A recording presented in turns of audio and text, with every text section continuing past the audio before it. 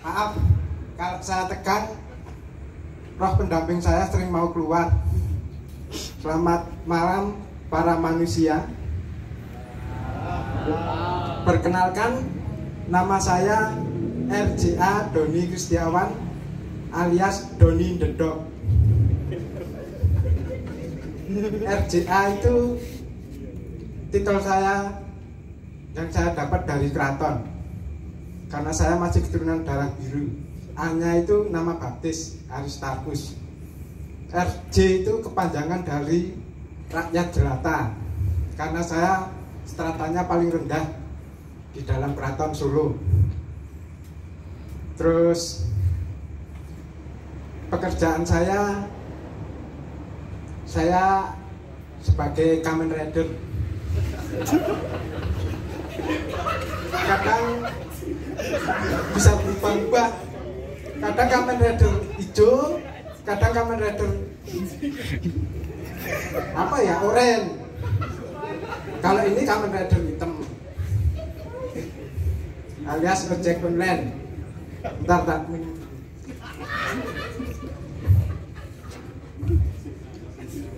sebagai ojek online kami sering kali memiliki grup-grup gitu ya. Terutama di Grab saya punya grup namanya FO Independent Karanganyar atau Palur daerah flyover itu. Itu grup saya. Dan sering kali kalau kita ada kendala di jalan kita kontak di grup untuk saling bantu membantu tapi saya beda dengan teman-teman saya. Karena saya driver yang cerdas saya tidak mau merepotkan teman-teman ketika ada kendala di jalan. Pernah motor saya bocor? Saya tidak akan telepon teman saya saya tuntun motor saya saya cari tambal ban. Setelah ada tambal ban saya standarkan motor saya. Lalu saya tiup pentil tukang tambal bannya. Sampai berisi biar gratis. Samping itu saya punya hobi lain daripada yang lain. Hobi saya mancing tapi bukan di sungai maupun di kolam apalagi di lautan. Saya mabuk laut soalnya. Hobi saya mancing di rumah alias di lubang WC apalagi kalau dapatnya yang lele kuning jos. Di samping itu wah jadi ngebleng kok. Wah harusnya jangan yang pertama mas. Ini mesti diincer sih ini mau mesti.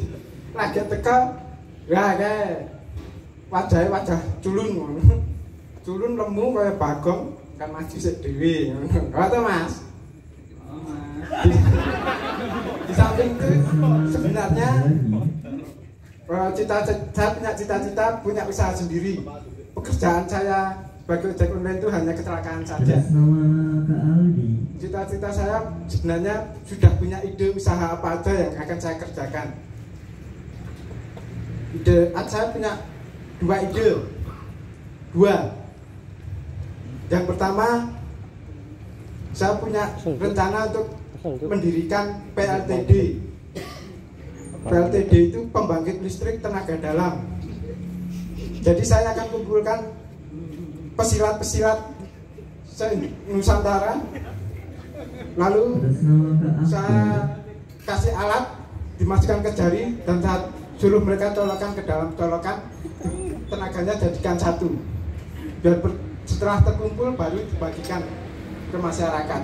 Kalau di sini ada yang mau mendaftar karyawan bisa coba dulu colokan tangannya ke dalam colokan yang ada di sini. Sedangkan ide bisnis yang kedua ini mungkin belum ada. Saya punya ide bisnis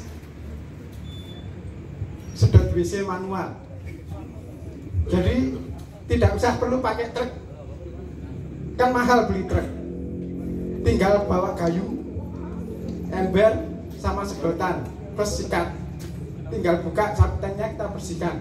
Di sini kalau ada yang mau daftar silahkan nanti saya suruh sebarkan brosur ditempelin di yang listrik yang listrik yang ada tulisannya sedot WC manual lebih manusiawi dan lebih nyaman digunakan. Atas nama Kak Ma'ruf.